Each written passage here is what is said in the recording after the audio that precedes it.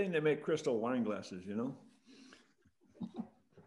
Good evening, everybody. Glad to see you're all here. We've only got about 16 Good people e- here this good evening, but, uh. Good evening. but I'm sure we're, I'm sure we're going to get more as we go along. Normally, we're in the range of 30 to 40 people who show up, and everybody is always welcome. I hope that you're telling some of your friends about our meeting so they can come online and find out about what's going on in Russia and other places. This evening, we've got a, a special speaker for you, somebody who um, walks on water if you talk to the people in, in Rotary headquarters. But uh, I think he's got web feet, so I think that's why it's so easy for him to do that.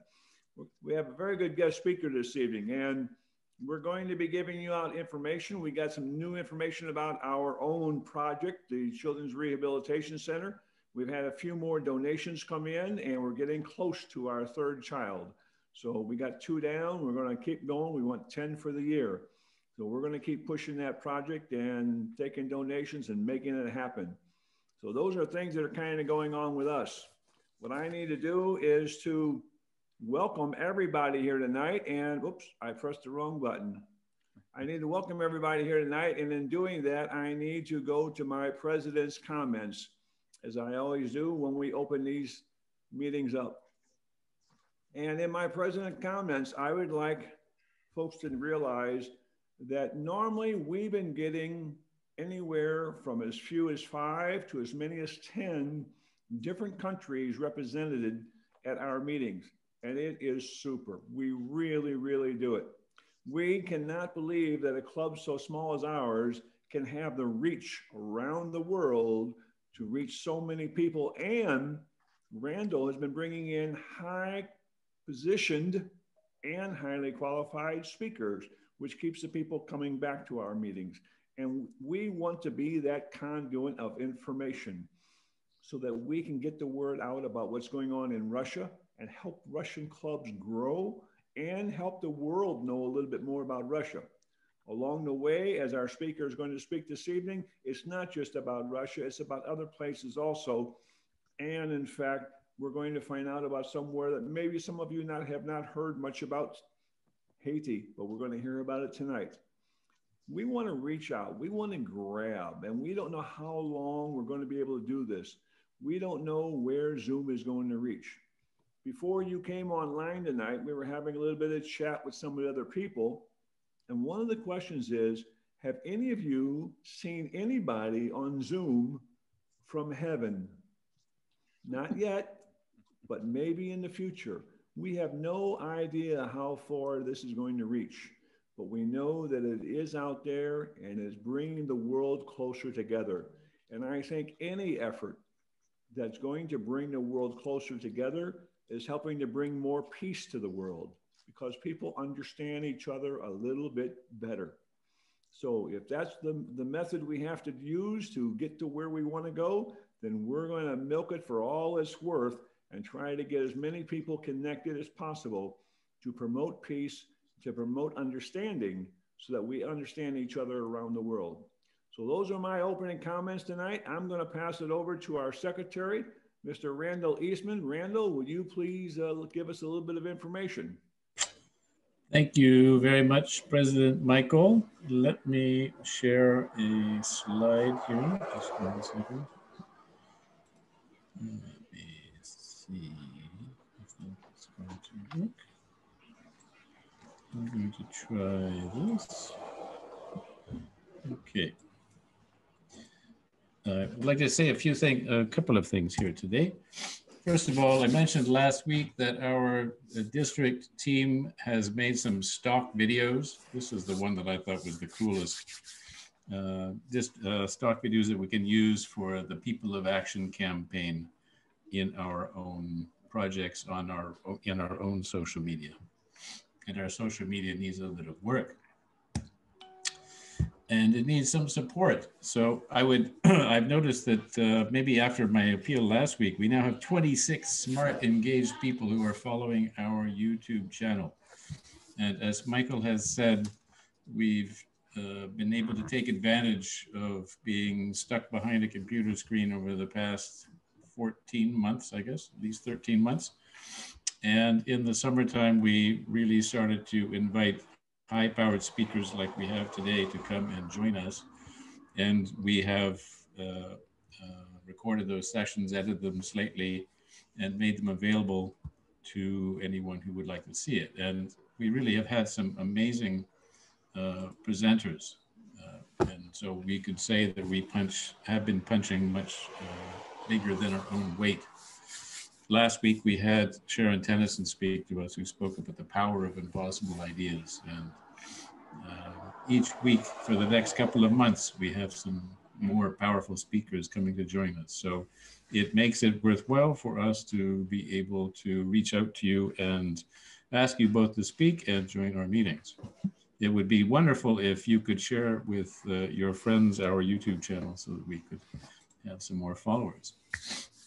Second thing I want to share, I just I sent this to Past RI Director John earlier today because I and I realized that uh, this is something I think it came, it was from Toastmasters that I came across this site, which I've been using in our little newsletter uh, notices every week. It's very, very helpful. If you go to timeanddate.com, if you're in, in, at all engaged in doing anything online, this is an amazingly useful tool. Uh, just this one tiny aspect of it is uh, something that I use all the time to share with anyone who's reading our newsletter when our meeting takes place in our time and in their time. And many countries in the world change their time uh, seasonally, and so it can be really confusing to nail down when exactly is our meeting taking place in your city. And even Naples, Florida, I was delighted to discover that Naples, Florida is one of the options there, so I could send that off to John today. So if you need a tool for your own meetings, this is a great one and it costs uh, zero to use, which is always good. Second thing I want to share with you uh, is this project. So each week our district is sending out a newsletter and I try to extract from it something uh, that I think is relevant for our own members and our visiting guests from abroad who are not reading Russian newsletters. This one I thought was uh, really powerful because uh, I watched uh, Ivan Pisarov, who's past president of Vladivostok Eco Rotary Club, past president of the Vladivostok Eco Rotaract Club. He is himself an ambassadorial scholar, and he's now a, a professor at the Far Eastern State University in Vladivostok, which is the which is an agglomeration of several universities in Vladivostok, and it's also the center for the annual, um, gosh, what is it called? The annual conference that uh, President uh, Vladimir Putin holds to put Vladivostok on the stage, reaching out in the region. So there is an incredibly high, high profile event that takes place on that university campus each year uh, I've had the chance to visit the university campus with uh, past president uh, Robert Kluger from Dalian Club. And we followed up on that by supporting a project, but it really is, it's a special campus. And as Ivan told me today, it is designed very much with uh, the needs of people who are disabled in mind. So unlike St. Petersburg, which I think if you were studying in a university campus downtown here, it would be very, very difficult if you're disabled. But uh, the campus in Vladivostok, uh, Far Eastern State University is very, very well equipped to accommodate uh, young people who are disabled to come and study.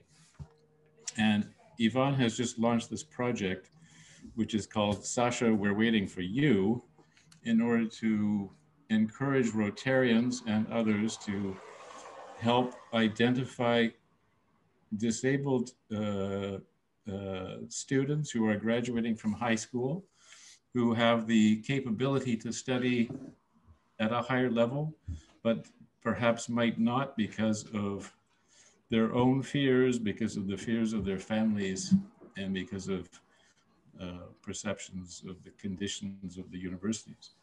And if I can just uh, escape here for a second, I want to show you something which I just discovered today, which is also quite cool. And let's see, let's stop share. So right, let me admit we've got a few people in the waiting room. Let me get them in here first. I'll get, I'll get the waiting room. Here, let me make you a co-host. Now, second thing, I just I want to share this uh, video, but I want to share show you how how it actually uh, uh, what I discovered that would make it work. There's another guest. So here is this campaign. Now you all know what YouTube is, unless you're in China, in which case it's blocked. You don't know. But at the bottom of the of this uh, YouTube page, there is a little control panel here. There's a and there's a CC. There's a closed captions button. I don't. We had this issue with the video that we shared uh, from the Center for for the Rehabilitation of the Child. I don't know if YouTube automatically always generates closed uh, captions, but here you can see. If you look at, I hope you can see on the screen here that when I press this button, we can see that there are Russian auto-generated closed captions. And then if I go to this uh, control panel here, you can see, again, Russia auto-generated sub uh, closed captions. And then I was able to click here and I discovered this auto translate button. And I could do this in Armenian, but I think for the sake of uh, our visitors from Florida, we'll just stick with English here. And I want to see, uh, uh, I want to play this for you and see if it actually works. If you see the closed captions now, these are auto-generated, so computer-generated translation of the Russian closed captions. And then uh, this is a short video which just introduces this campaign. It's only a minute. В жизни встает вопрос о том, чем заниматься после школы. Многие решают получить высшее образование и начинают искать информацию о поступлении на сайтах вузов. Для обычных старшеклассников принятие решения об этом не является такой большой сложностью, как для старшеклассников с ограниченными возможностями здоровья. Саша, мы знаем, что тебе особенно тяжело принять такое решение, поскольку не все вузы способны обеспечить комфортное обучение. Ведь им не приходится задумываться о том, найдется ли для них там место, смогут ли им там помочь, будет ли в их университете доступная среда, будут ли в нем пандусы и лифты. Мы хотим обрадовать тебя, сообщив, что кампус Дальневосточного федерального университета во Владивостоке – это доступная среда без барьеров, которая идеально подходит для людей с ограниченными возможностями здоровья. Здесь все продумано до мелочей. Объекты университета строились с расчетом на обучение и студентов с УВЗ. Ты сможешь полноценно жить и учиться здесь. Не бойся. Тебя будут окружать понимающие люди, которые всегда готовы помочь. Саша, мы ждем тебя. Саша, мы ждем тебя. Саша, мы ждем тебя. Приезжай. Саша, приезжай, мы ждем тебя. Саша, мы ждем твои документы. Саша, приезжай к нам. Мы ждем тебя. Саша, мы ждем тебя. Саша, мы ждем тебя. Саша, мы ждем тебя. Приезжай.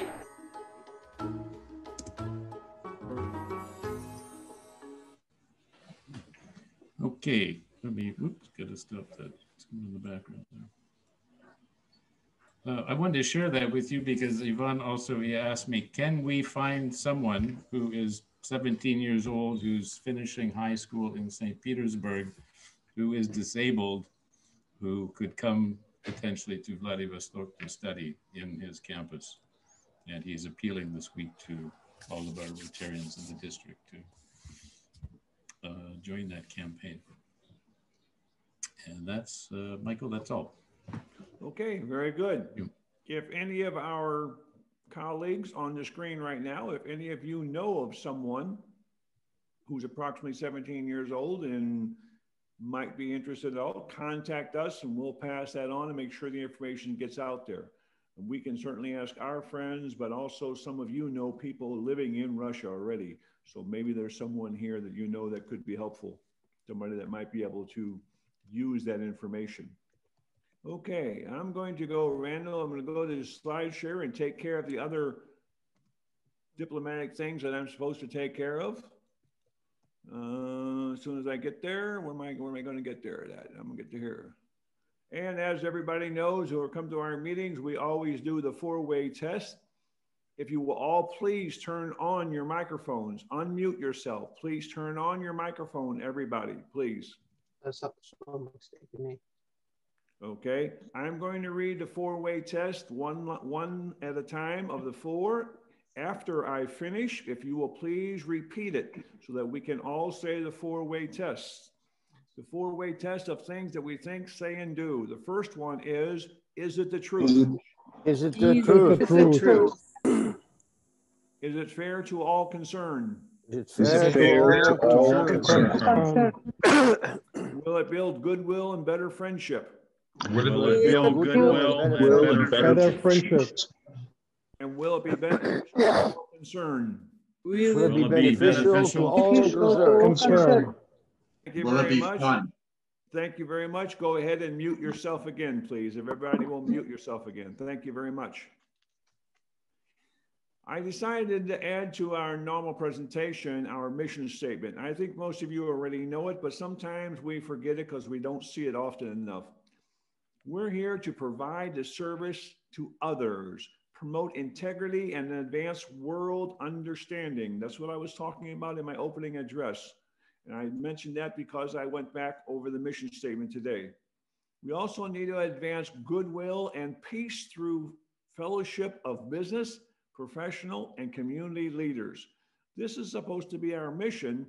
So we need to sort of keep it in mind when we're not only making decisions with the four way test, but also when we get an opportunity to tell somebody else about Rotary, what we do and where we do it. Feel free, take the, take the opportunity to pass a few words on to them. It'll help everybody. There are some meeting protocols that I need to go over. First of all, please be sure you keep your microphone muted and your camera on. This is going to be able to, so we can see your smiling face. The speakers we have, when they are speaking, they like to look at the audience and see what everybody else sees. They would like to see your face when they're talking to you, just as if when we're live. For better viewing, in the upper right-hand corner where it says view, if you will click on the speaker's view, that will give you a full screen picture of the person who is speaking so that you can see them better. We ask you please kindly to avoid sex, religion, and politics. There's a reason why, not so much for us, but because our meetings are recorded. And if you're talking about those topics, they will be recorded and it will be part of our broadcast. So it might be embarrassing to someone else. We recommend that those three subjects stay out of the conversation this evening if possible. And with that, I need to move on to our guest speaker. Now, our guest speaker tonight, John Smarge. Well, you know, I thought maybe this guy was military because when I was going through his bio, it said he got the Meritorious Service Medal and the Distinguished and the Distinguished Service Medal. But then I read the rest of it. It said the Rotary Foundation Citation for Meritorious Service, the Rotary International Service Above Self Award, and he was the District 6960 Rotarian of the Decade. Now, John started a little over 30 years ago with a club in Naples, Florida, still there. And he was the district governor in 69, uh, excuse me, district governor of 6960 in 1995 and 96. He's been interested and involved in several of the programs that I was in when I was a young man after getting out of high school. He was involved on the board of chairmen for the Naples YMCA, a very good organization, and also uh, director of the board for the local Boy Scouts of America. He's worked with Shelters for Abused Women and the Foundation for the Girls Sports Foundation. So he's been involved in a lot of those different things. What he's going to be talking to us now about tonight is about the HANWASH Project, the Haiti National Water Sanitation and Hygiene Strategy. But I got one line here that I underlined twice. I even use a marker on top of it because I want everybody to know this if you don't know already. John will serve as chairman of the 2022 Rotary International Convention Committee. He will be the chairman of the committee for that. So if you got something you want to sneak in in the back of his head, you might want to write him or contact him and let him know. Without any further ado, I'm going to turn it over to John and you can have screen share. I believe Randall's already given that to you. And the screen Yes. is yours, John. Let me see if I can uh, get this, and I'll see from Gene Caldwater. If you can see that, you can thumbs up if you can see my video. Yep, got it. Okay, great. Um, it is absolutely a, a pleasure to be here. And, and Randall, thank you so much for inviting me to, to speak today. I'm going to talk to you today about, as Michael mentioned, HANWASH. Hand wash stands for Haiti National Water Sanitation and Hygiene Strategy. What this is, it's a multi-decade program at an estimated cost of US $2.3 billion with the audacious goal of providing clean water sanitation and hygiene education to the entire nation of Haiti.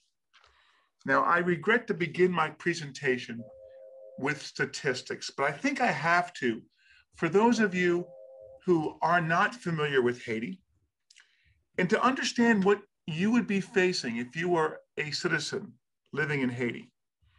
But I'll also tell you that the statistics I'm telling you, I probably could have given them to you last year, five years ago, or maybe 30 years ago, because as much as things have changed in Haiti, some things remain the same.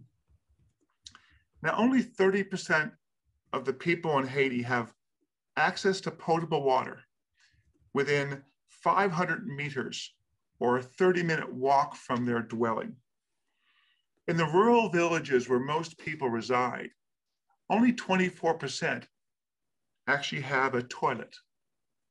2 million of the approximately 11 million people who would live in Haiti practice open air defecation. And so, uh, as a result of these, waterborne illnesses such as cholera, typhoid, or dehydration through chronic diarrhea will account for about 50% of the deaths in Haiti. Now, half of, of Haiti's water and sanitation infrastructure simply doesn't work. People have for years and for decades spent money in Haiti putting down water pipes, drilling wells, but they've only done it in a manner of relief, short term charity, without taking consideration the long term efforts, the development, the sustainability of this. So, in my mind, charity in Haiti has failed. I'll repeat that charity in Haiti has failed. It's time for a sustainable solution for Haiti that can once and for all resolve their water and sanitation dilemma.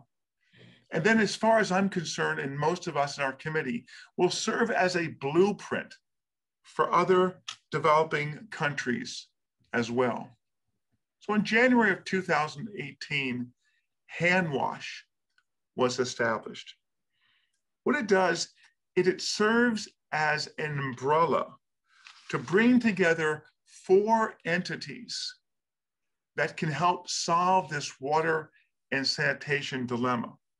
The first of these entities are the water and sanitation implementing organizations in Haiti.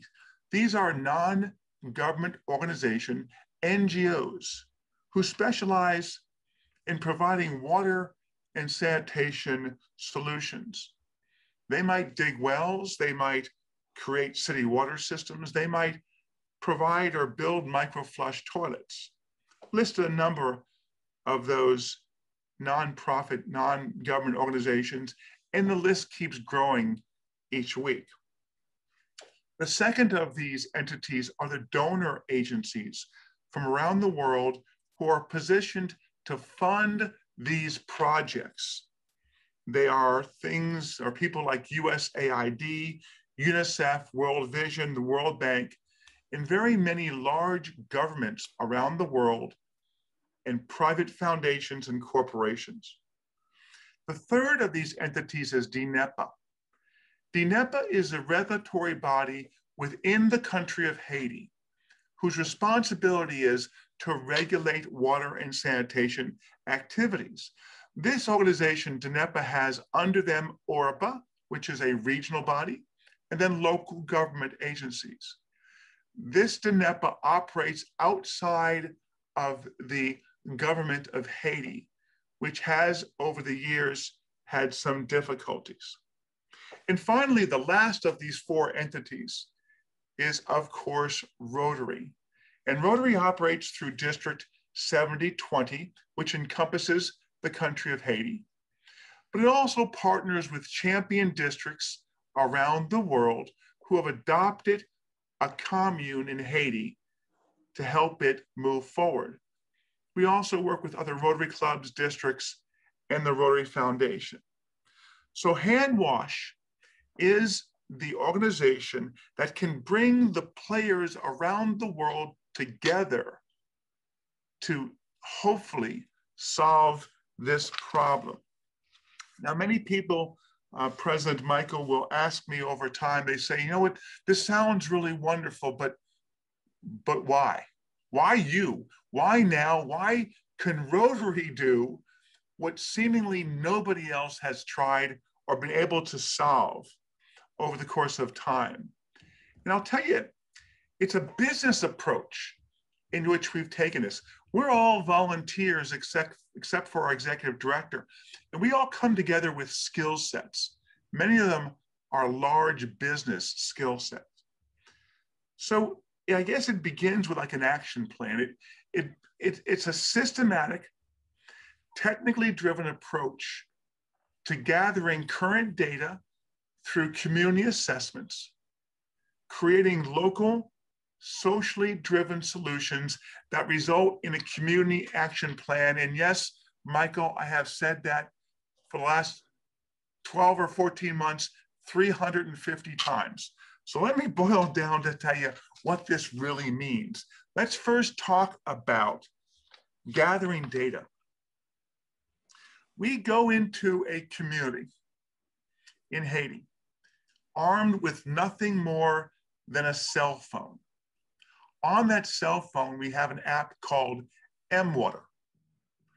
We walk up and it might be a Rotaractor who does it. It might be a Rotarian or a trusted NGO. They walk up to a water source. It might be a water pump. It might be a fountain, a cistern, or even just a creek along the side of the road. They go to mWater and they press a button. And through satellite imagery, GPS tracking, records their exact coordinates of where they are. They then test the pump to see if it works. If it works, they hit a green dot that says functional. They get a test kit out, test the water. If it's E. coli poison, they hit red. If it's potable, they hit green. So in the screen here, you see these green, yellow, and red dots. They signify all the water sources in that community. We then go to Google Maps and we lay over Google Maps on top of our assessment. All those little black dots you see on the screen represent residences. We know that in each resident, there's an average of 5.5 people. We now know within a community how many people are within 500 meters of a fresh water source. We get a baseline for what water sanitation circumstances are within that community. My fellow Rotarians, we have done this now for 50% of the country of Haiti. A magnet, a, a, just a huge effort we've taken. We just signed an MOU, a Memorandum of Understanding, with the federal government of Haiti and UNICEF. And we are teaching them how to employ this process. And the federal government is now going to do what they are supposed to do. And they're going to move forward and do the rest of the country. Now, once we have this assessment, we talk about social driven solutions. There are 144 communes in the country of Haiti. They represent communities or regional areas or counties. We meet with them, and I'm meeting here with the commune of Cavaillon. We meet with the community leaders and we show them the assessment we just did. then we ask them a question. The question is, what are you going to do, Mr. Mayor and community leaders? What are you going to do with this data to provide potable water to your community? You see, we'll, we'll raise the $2.3 billion. We'll develop the infrastructure. But once the infrastructure is developed, it is them, it is the local community who is going to drive this thing forward. This will not function unless it is a local community driven process. We then assign a HANWASH ambassador. In this case, in Cavaillon, it happens to be a past district governor from Rotary who lives in a community next door to him, Lakai. They then developed a community action plan, how they're going to move this thing forward. We assure that the process embodies the core values of HANWASH. These are sustainability, transparency, accountability, and a thoughtfully managed pay for service system. That is correct. We are not providing them water by charity. Our system only works if the citizens have buy in, if they understand the value of what they're being given and pay for it. So all of them will pay for the water we provide. And then finally, we provide a professional operator. In this case, it's a local bank. The local bank collects the funds, passes on a portion of it to DINEPA, the regulatory body, and keeps the rest in a fund for future upgrades and repairs so that there is sustainability, so that we don't have the problem of decades in the past with, with, with wells falling uh, in disarray. So I guess if I was there right now, Michael, I'd ask, I'd ask the question of, does this sound difficult? And people would probably be saying yes, and I'll tell you, this is the easy part. This is the easy part. The hard part we've got here is changing culture. Changing the culture of the people themselves past the concept of charity to an idea of self-sufficiency. Changing the culture of the federal government to realize that the only way this will succeed is if they operate in the way a federal government's supposed to operate. And thirdly, and probably the hardest cultural change, is of those NGOs, those non government organizations who proliferate the landscape and provide what I consider in a book I read, they provide toxic charity. You see, there was a big earthquake in Haiti in 2010, you might know.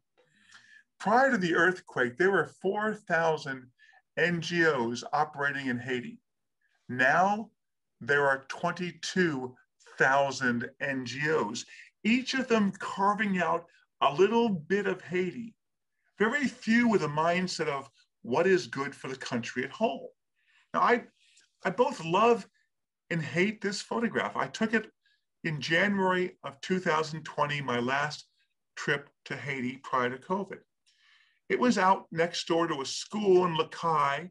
Lakai Rotary Club was showing us proudly the benches and desks they had provided for school. But we, we walked outside and here's this pump. It doesn't work. On the platform there is a lawnmower. It doesn't work. But if you look north of the pump, that white and blue building is a water kiosk connected to the water system in that community that doesn't work. So rather than fix the existing system, some well-wishing NGO, it could be a church group, heck, it could be a Rotary Club, spend $15,000 and put another well here, meters away from a water system, and it doesn't work. This happens, ladies and gentlemen, every single week in every single community in the country of Haiti. There is no concerted effort, there's no effort to collect people together and do a joint program.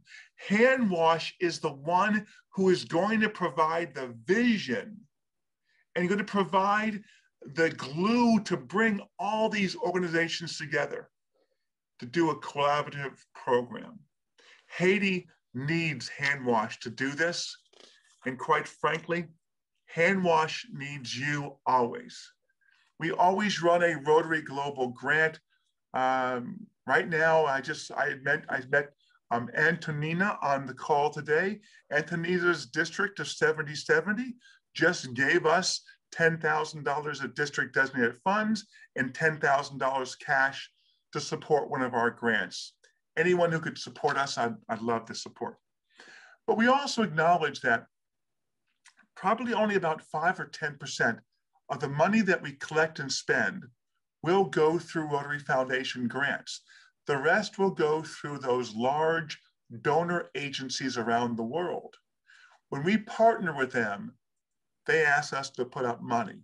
So we've established a 501c3 nonprofit charity in the country of the US where we can accept contributions that we can use to then uh, match these large donors. And though I want your money, and Gene Codwalder, who knows me probably best of anybody on this call, knows that I am not shy about asking for money. Most people don't answer the phone calls from me anymore because they know it's going to come with an ask for money. Though I want your money, there's something more important I need. I know who you are here on this call. I know the sphere of influence that all of you have, not only in Russia, but around the world. So I need from you is I need you to be an advocate for Haiti and for HANWASH. I need for you to tell others about what we're doing. Find those global corporations, those engineers, those nonprofits, those anyone who could possibly assist us to say, be involved with HANWASH. I'll finalize this, if, um, if I may, Mr. President, by telling you that um, in January of last year, when we met with the mayor of Cavaillon, which was our first of, of seven pilot communes, it was one month since he, we put in the water system. At that point, 33% of the people paid their first water bill.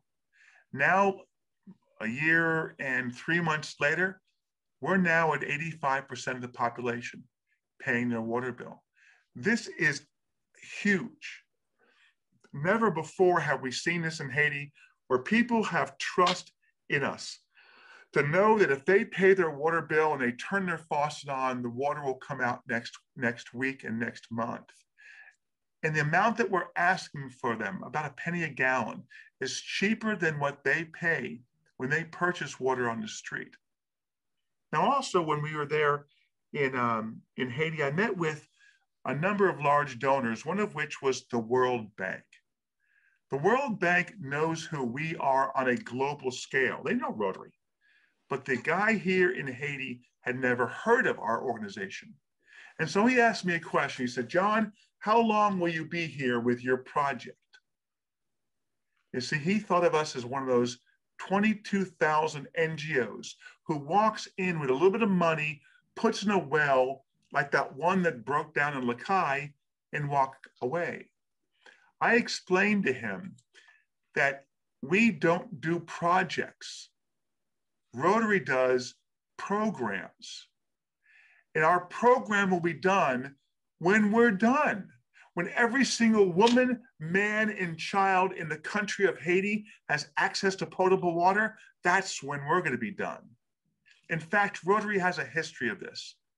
35 years ago, some Rotarians in the Philippines said, We want to provide water, I mean, uh, uh, and polio in our country, the Philippines. And now, 35 years later, we're still doing it. Before we left the World Bank, in Haiti. The gentleman called us back into his office. And he sat us down. He said, I'd like to provide you with a grant. The grant was for 2.5 million US dollars. A lot of money. Not a lot of money when you're raising 2.3 billion, but a lot of money. But what it meant to me and our teammates was that he understood us. He figured out who Rotary is and what we stand for. We stand for integrity, transparency, and impact. My fellow Rotarians, this is an audacious goal. I don't think it's going to be done in my lifetime. I don't think we'll have it done in 20 or, or 30 years. But you know what? There is no one, there is no one out there but Rotary who could do this. And we are going to prevail. So I thank you for what all you do in your clubs and around the world. I thank you for what you could possibly do in the future. And may I offer to all of you, God bless you and may God bless Rotary. Thank you, Mr. President. Thank you very much, John. Let's everybody give him a round of applause. Thank you very much, John. We appreciate that. And the way that we normally operate things here when we have a guest speaker is, John, we're going to ask you to answer some questions for people. I'm sure some of our people will have a few questions. And leading it off is our secretary, as he is every week. He usually asks the very first question.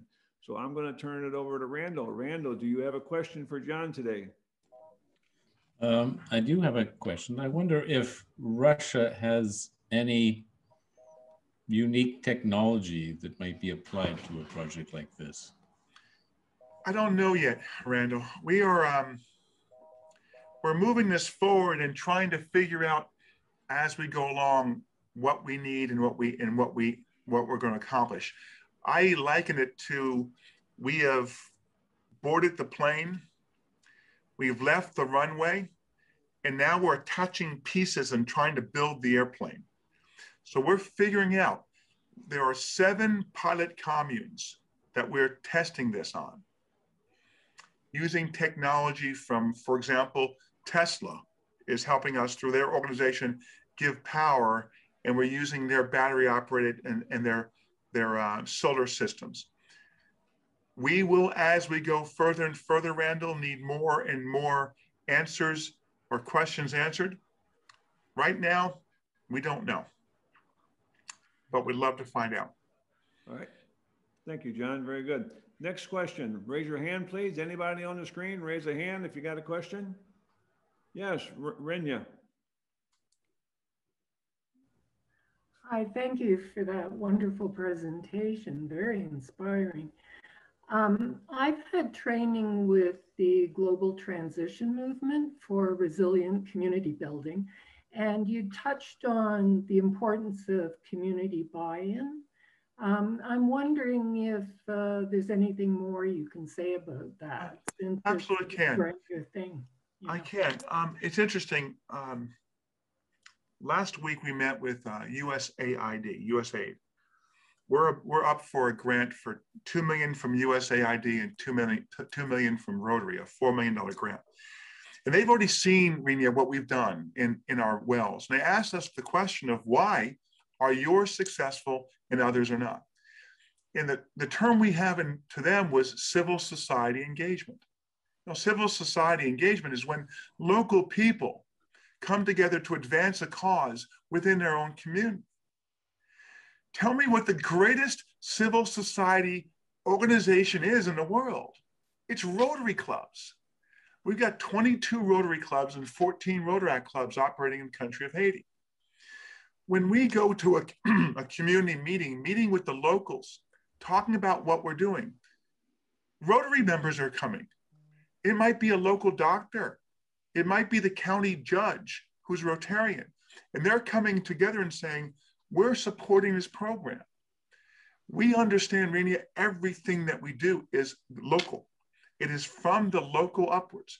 We enable and engage and provide uh, a process and an operation for a local community.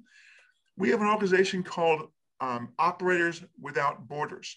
Operators Without Borders is a Vancouver based nonprofit. They're coming in and they're teaching the people in the community how to operate a public utility system. There aren't any in Haiti right now. We're teaching them how to do that.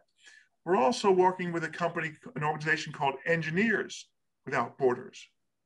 Because right now, if you want to do an engineering project in Haiti, you get someone from Canada or the United States or Italy or somewhere else, and you pay their airfare to come to Haiti.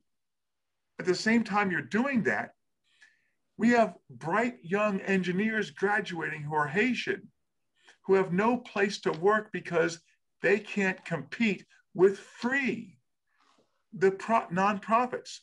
We're going to stop that. We're not going to have these charities come down and do the work that Haitians themselves can do. We are nation building, is what we're doing. But we're doing it, as you mentioned, from the ground up, from the civil society. I'm telling you, I've, uh, Michael mentioned, I, have been a Rotarian for 38 years. I sat on the board directors of Rotary. I've done some incredible things. Nothing compared to this. Nothing compared to this. This is amazing to me. What we what what only Rotary can do because Rotary is in the community, and our organization is made up of Rotarians. Fantastic. Thank, Thank you, John. Next person, next hand up. Uh, Henny. Yes, uh, John. I'm uh, Henny from the Netherlands. I'm from the Rotary Club uh, Voorschoten Leidschendam. Very difficult to pronounce. Um, thank you for your uh, presentation. The, the, the, matter is our club is uh, at the moment supporting a school project in Haiti. Just about 100 kilometers south of Port-au-Prince. And it's very difficult for us to get hold of Rotarians there. Um, they're not really yeah active it looks like. If you send emails they don't come back.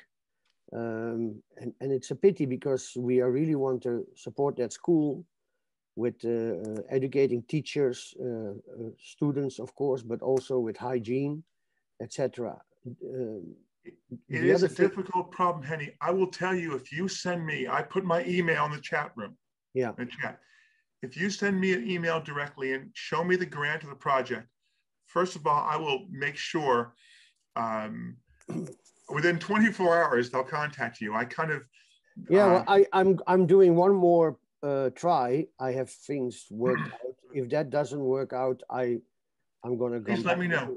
Yeah. Here is the problem, and it's I'm not saying it's with your project, but it's a lot of projects coming from the United States and Haiti. We have Rotary clubs in the United States who say, I want to do a wonderful project in Haiti. They send the project to Haiti and start it without the local buy in. And then you have local Rotary clubs who have eight, ten projects thrust upon them that they have no interest in and no skills about to handle, right? So we are trying to, again, we have a Haiti task force that overlooks all the projects that come into Haiti that we try to, to, to oversee them and, and try to say, no, you that the community does not need that. Please don't give us your project. So there is more projects that they than they can handle. The need is so great. So on an individual basis, Henny, please let me see your project. Yeah. And I will be happy to connect with the local assistant governor in, in that part of Haiti and get it moved on. The, the other thing is uh, we got from the, the lady who is uh, uh, managing that project, who started the school and everything, uh, she's a bit worried about the situation in the country. Uh, the president is uh, not going away. he decides to stay. Uh, the mayor is uh, arrested at the border with 500,000 US dollars. Yeah, so he, does the Rotary Club there have some kind of impact or, or how is yeah. it going there? the Rotary clubs, in my experience, are made up of incredibly great human beings who try hard against all odds. Um, I, I am very confident in the credibility of the Rotary clubs. Uh, but they need to be, make sure they are engaged in your project. In the hands of Rotary clubs, Henny, your project is safe. Okay. Outside of that, it is the wild, wild west out there. You don't know what goes on. And I travel traditionally, I travel about once a month to Haiti. I've not been there since January of 2020, and I don't have any plans to go back until the circumstances are a little bit taken a little better there because the kidnappings are what I'm concerned about the most. And it is running rampant right now and the gang wars. So it's it's a dangerous place to be right now. Okay. okay. Thank you, Well, John. I will let you uh, know uh, as soon Please- as I. Please do, Henny. I appreciate that. Thank you And- very and much. Henny, if for some, re- if from some reason, Henny, you get disconnected, you know you can contact us through our club and we'll put you back in contact. If there's a disconnect, just let us know. Next question. Any hands? Next question? Nobody's got a question. I've got a question for you, John. Okay. Um, I was in Rotary back in 2003 and we had several projects in India and they were going very, very well. And then after a couple of years, India got a bad reputation of mismanagement of funds and grants and so forth, and India got penalized a little bit. Is there is there adequate um, controls or adequate uh, features there in Haiti to keep guidance going in the right direction within these Rotary clubs? Yeah, there is. Um, we have a really great um, organization in Haiti that through HANWASH that monitors those clubs. They do, they have to do a HANWASH ambassador program where each club now comes together and they learn about what we're doing with HANWASH, about our transparency issues, and there's a great degree of accountability. Um, again, I'm I know very well the leaders in Haiti, past governors and such. Um, through our program, there is no fear of, of, of accountability issues. No fear. We um, I meet with the, the head of the of the government of DINEPA, and he's asked me a number of times, John, well, just send me the money and we'll take care of it. And I'm normally the tough guy saying, uh, Executive General, I appreciate what you're saying, but we will never do that. Our money will be going through Rotary clubs that we trust.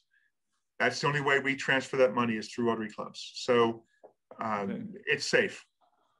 Okay, again, I'm just, just asking because I, in India, it looked safe early and then it, then things kind of went sour. And um, they got punished a little bit because of that, but things are better there now for sure than what they were before, so. Are. Yeah. Thank you. Next, next question. Any other questions from the floor? Uh, you folks are unusually quiet this evening. Usually we're full of questions out there. I, I'm, I'm curious, John, if you're doing all of this by remote, by being in the United States and not being down there in a year, um, I know a lot of our organizations have had to learn how to manage by way of Zoom, how to manage by way of phone calls and messages without being live. Being a live leader on spot is one thing, being a leader online of an organization is another thing. Uh, any uh, guidance you might give us for those of us who are operating at a distance from our uh, from where the work is being done that, that you're you're halfway around the world or not not halfway in your case but a long way in your case from where the work's going on Yeah, we um, um I, I'll tell you that we meet our steering committee, which is made up of 12 subcommittees, and normally there's about 45 people on the call. We meet every single week. Um, I have probably six to eight Zoom meetings through different committees every single week. But of the 12 subcommittees, need to understand that five of the chairmen or chairwomen live in Haiti. So of the 12 subcommittees, mm. five of them are headed by people who live right there. So even though we're remote, we are fully entrenched in Haiti and they can do all of the hands-on face-to-face meetings that we can't do ourselves. Okay. I just know for a lot of organizations, when I, I'm, I'm helping leaders around the world, I teach leadership, and I know that when this pandemic occurred, and a lot of them got separated from the actual work in different locations, that in fact they are uh, learning new methodologies of trying to operate with people who they don't get to see. You can't walk down the hallway to the water cooler and tell somebody something. It's not that way anymore. Right now, it's uh, it's, it's by distance. So, okay. Uh, Howard, I seen you had your hand up. Unmute, please. Thank you, thank you, uh, Michael.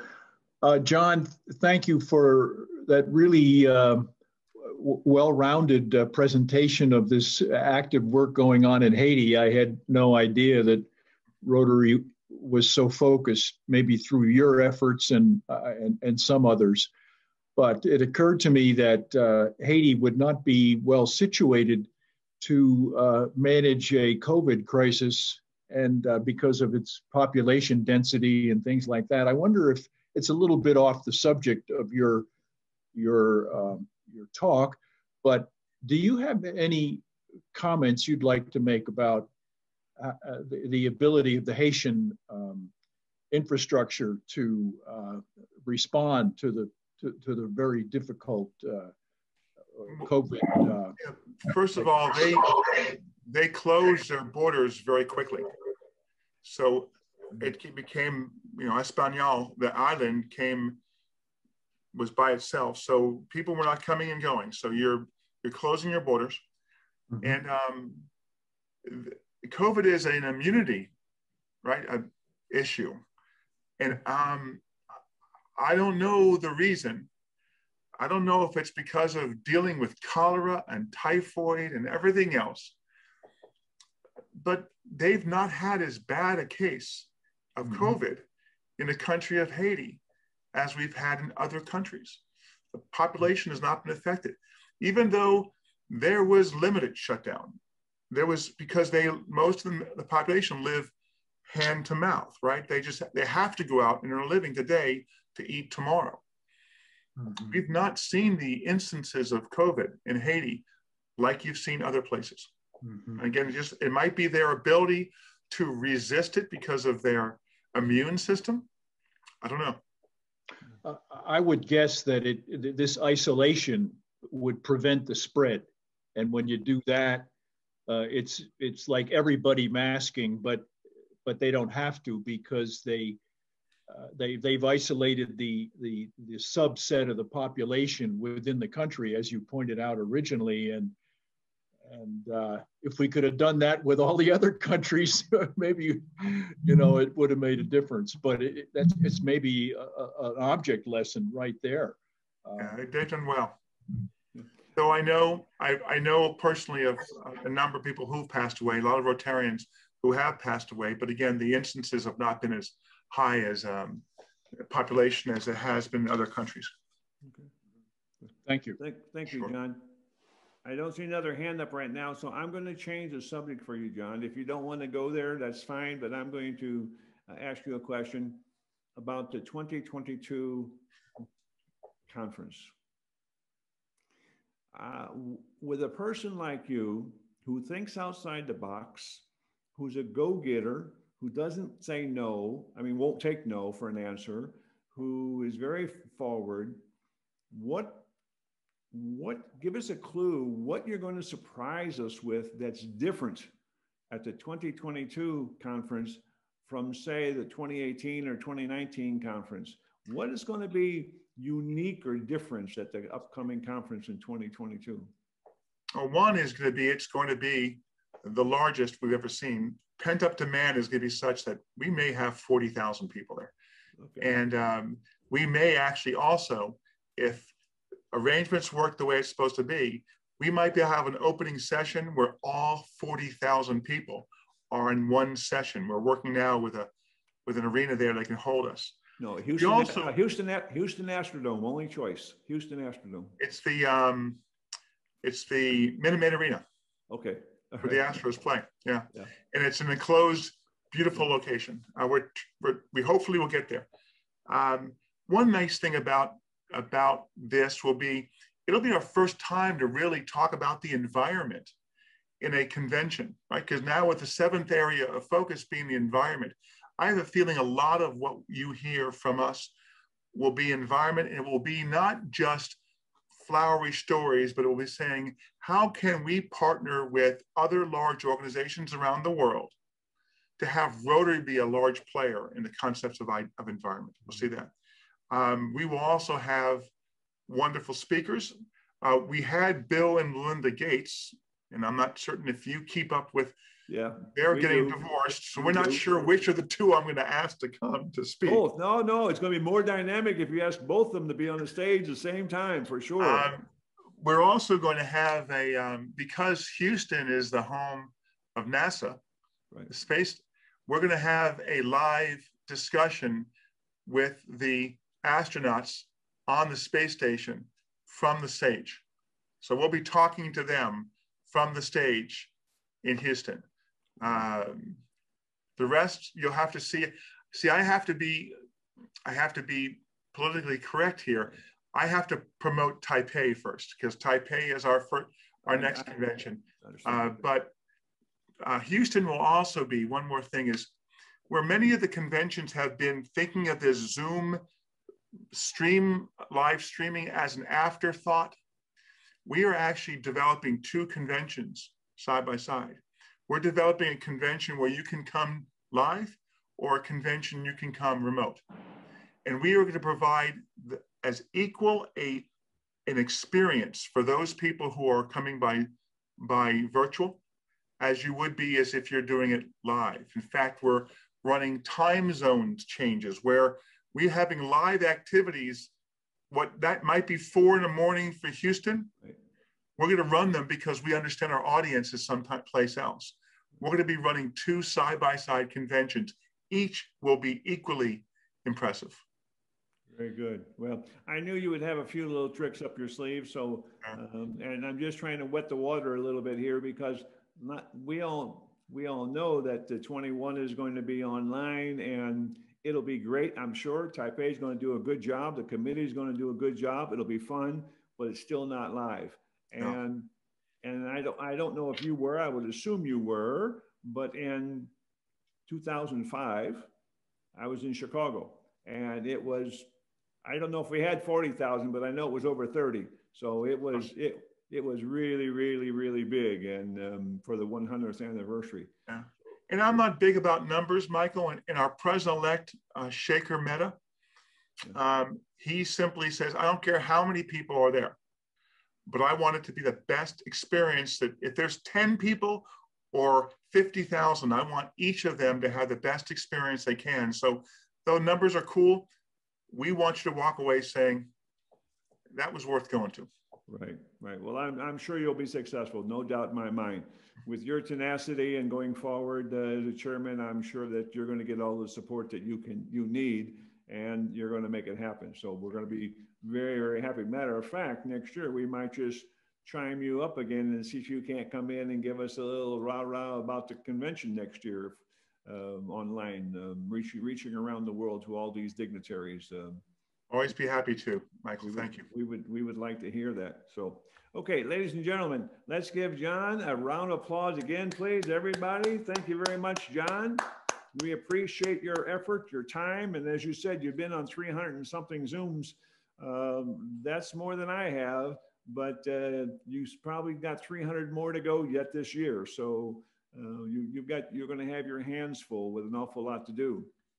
Okay, next on our agenda is to talk a little bit about our project and uh, Andres Bone is on board here. Andres, you have a slight update, a little bit about finances and so forth. Can you give us a little update, please?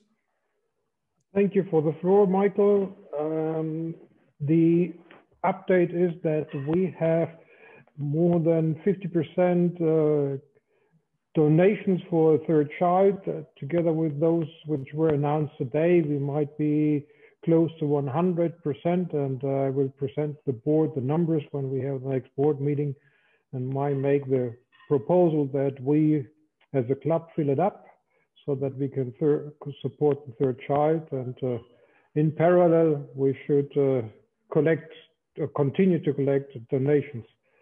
Um, meanwhile, I had the chance to translate the thank you letter, which we received from Makar. And if you don't mind, I would like to read it to you. Sure. Dear Rotarian St. Petersburg members, the entire Makar Gorin family expresses its heartfelt gratitude to you for the charitable assistance provided in the rehabilitation of our child. Thanks to your generous and kind heart, Makar had the opportunity to undergo a, a rehabilitation program in a wonderful center with real professionals. It is very pleasant to realize that in our difficult time, there are caring people who are ready to help and lend a helping hand. Thank you so much. We sincerely wish you not only prosperity in business, financial well-being, but also that all the good that you give to those in need will return to you and your families in multiples. We wish you good health, prosperity, and happiness. With thanks, Mom Makar, Dragon Veronica. Thank you for your attention. Meanwhile, I invited, together with my lovely wife, a child which also is in the rehabilitation center, is Igor. Uh, we went there last week together with our little boy, Robert. They got known to each other and it looks like that they have built a friendship and uh, Igor was with us last Tuesday, with us after all the trainings in the rehabilitation center and they both were playing here in Robert's room. So we, we keep the contact. We, we would like to um, strengthen our bands we have with the rehabilitation center so that the further coming donations can be forwarded to the child. That's all what I wanted to share with you. Thank you very much, Michael. Thank, thank you, Andres, for your great work. For those of you who don't know and might be new to our meetings here, Andres is our club treasurer, has been for a few years, and he is the focal point for our club to deal with the um, Children's Rehabilitation Center. In the Children's Rehabilitation Center, there's a couple of you who are new here tonight. It, it deals with cerebral palsy. Children arrive there either in a wheelchair or carried in where they cannot walk. They go to therapy up to three months worth of therapy every day. And then after, usually they get fitted with a pair of specially made shoes designed for their feet so that they fit only them. And then by the time they leave, they're either walking with crutches or walking with braces, but they are walking. And what I want to share with you this evening, last week we showed you a, a short video. I have another one for you this evening. It's a short one, not a long one. And it will show you another child as to in the past and what was accomplished. We're on a mission to get 10 children this year. It cost us 2,500 euros per child to do this. We've done two, we're working on a third one, and our goal is 10. We will get there this year, but we still need your help. And we just had contributions from people who are on the screen this evening, as well as others. So if you're willing to donate, please contact us and we'll be more than happy to pass it on. 100% of it goes to the center. We don't use any of it. We're just a funnel to funnel it through to get to them. So uh, it's working pretty well, but we certainly can use your help to get more children. And you can see Andres and his son Robert. Now, Robert's got a new friend, Igor. So um, uh, Rob, Robert uh, has a new one to play with, and, and I'm happy to hear that not only is Andres uh, supporting the center, but also his family's involved in it. So that's very, very good. Makes a very strong bond for us with that group. That's pretty much wraps it up for us this evening. Um, I don't know if our members, we've got a few members on board here. Uh, Rami, have you got any comments or any information you want to provide us? Everything is okay. Yeah. Yeah. Andreas, uh, Bone, anything you got for us, sir? Andres, nope, nothing shaking his head. Irina, any information you have, dear? Not now, thank you. Okay, all right. And Antonina, you're a charter member of our club. Do you uh, have any information for us? No, it's just uh, we are approaching a celebration of um, victory over Nazi in Europe. Mm -hmm. It's May 9th. Right. So it's my greetings to everyone and um, my hope that peace will be a future of the human being. on the Earth someday. Well, So- we cer- we certainly hope so, Antonina. And, and I, and believe me, I don't think there are many people who are in our age group on the screen here who forget about May 9th. Uh, I think we all think about that and think about the, what had happened. I We- was we- making a com, I was making a comment to somebody the other day and they were surprised. I didn't think they should be, but was, they were surprised. Since World War II, there has not been one single event that affected so many countries and so many millions of people around the world as this virus has. This virus has been the next biggest thing since World War II, in my opinion.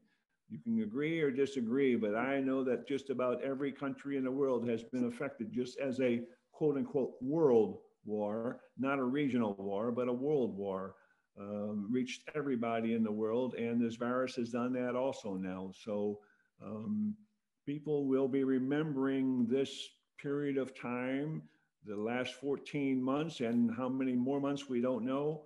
They will remember this for a long, long time because it's something who took many people out. Uh, millions of folks in America. We're over 400, over 570,000 already, and working our way to 600,000. So I know in America's numbers, I don't know all the global numbers, but I do know that it is bad. So we are living through it. Our children is living through it.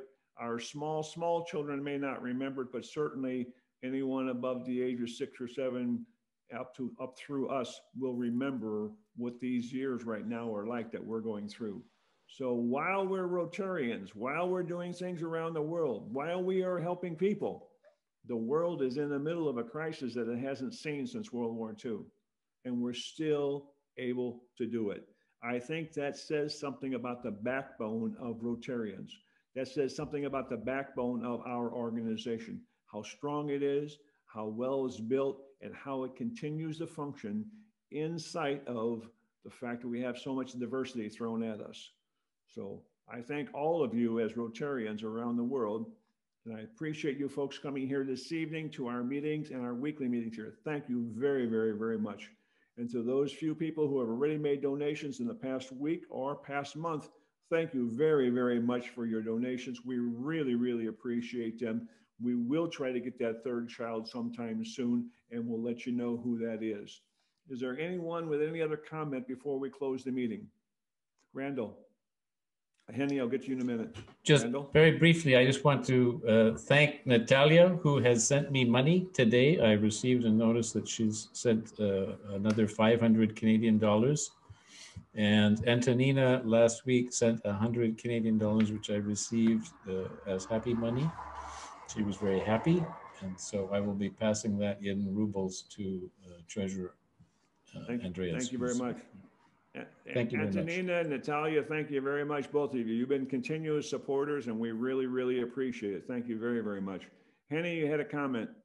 Yeah, I just want to uh, tell show show my appreciation also for what you uh, guys are doing, and I'm always happy to join the meeting. It's very interesting. Well, you- And, you're always, you're always today- welcome. And today we are celebrating liberation in Holland. So Very good. Very good. Also, uh, if I don't know if we got anybody on the screen who is of uh, Spanish descent, but Cinco de Mayo is today. These the, the, the Spanish are celebrating Cinco de Mayo. So um, I only I I did it in a strange place. For the only time I ever celebrated Cinco de Mayo is in East Los Angeles. Um, very interesting environment to celebrate Cinco de Mayo in East Los Angeles. Kind of different than other places. Uh, but uh, it is Cinco de Mayo today, and we do recognize them as well as all the other nationalities around the world. So we have been at it for an hour and a half.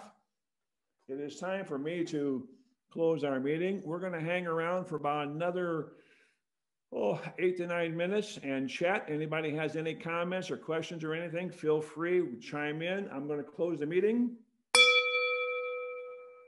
The meeting is officially closed, and we hope to see all your smiling faces back next week.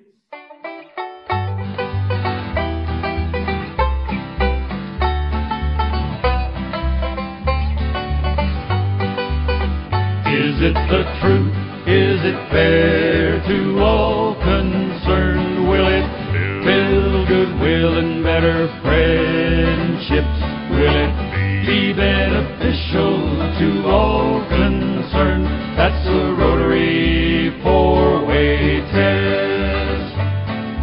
many years ago, in 1932, his company was headed down, he knew not what to do. Then Herbert Taylor started on a quest to keep his team from certain doom. He wrote the four-way test. Is it the truth? Is it fair to all concerned? Will it build goodwill and better friendships? Will it beneficial to all concerned? That's the Rotary four-way test. Adopted some years later by Rotarians worldwide. Some simple rules for dealing with the people by your side. A guide for life's decisions, no doubt one of the best. Just 24 quite simple words. The four-way test. Is it the truth? Is it fair to all concerned?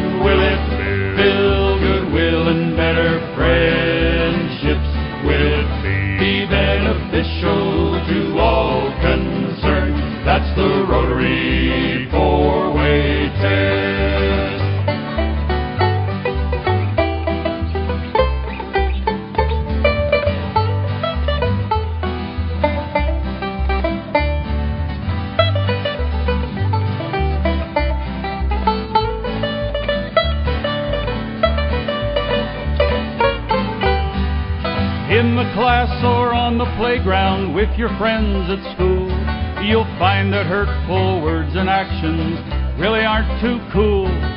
So as you make your choices of what to do or say, remember that old four-way test and you will be okay. Is it the truth? Is it fair to all concerned? Will it build goodwill and better friends?